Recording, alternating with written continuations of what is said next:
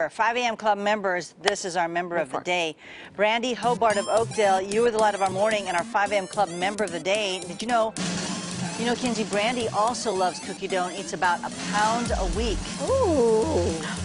Really? She looks great. No, not really. Wait a minute. Oh, why does that picture keep coming up? on my Tina! Are you kidding me? Oh, hi, Court. Court's back Hey, tomorrow. Court. Hey, Court. Has, how long has she been gone anyway? Three years. It seems like an eternity. I mean, really. But you guys have got to spend so much time with her. I'm jealous. And you got to dance with her at Bruno Mars. Well, you That have is to make true. an appointment with her. Do you have an hour for us, Court? Yes. Okay. I mean, my goodness. Call her up and make a lunch date or something. Oh. She is sweet like that. 5 a.m. Club at KMAXTV.com.